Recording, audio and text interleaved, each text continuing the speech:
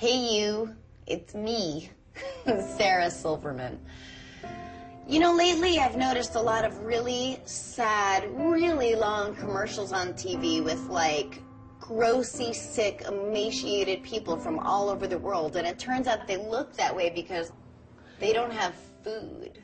And I know what you're thinking. If you don't like it, Silverman, TiVo past it. I did. You still see them. Especially because, like, I have a 48 inch plasma high def TV. So every devastating image is in, like, brilliant, crisp, vivid, like, it, like they're in my apartment, you know.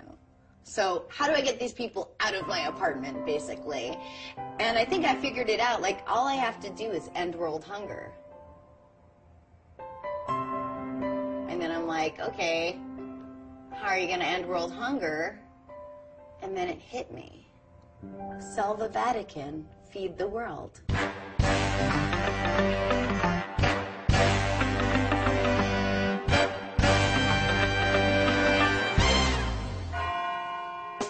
Think about it. We need a hero. And who is more primed to be our hero than the Pope? He's literally a caped crusader. What is the Vatican worth? Like $500 billion? This is great. Sell the Vatican, take a big chunk of that money, build a gorgeous condominium for you and all of your friends to live in, all the amenities, swimming pool, tennis court, water slide. And with the money left over, feed the whole fucking world.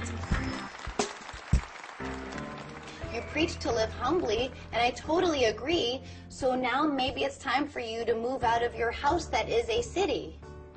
On an ego level alone, you will be the biggest hero in the history of ever. And by the way, any involvement in the Holocaust, bygones.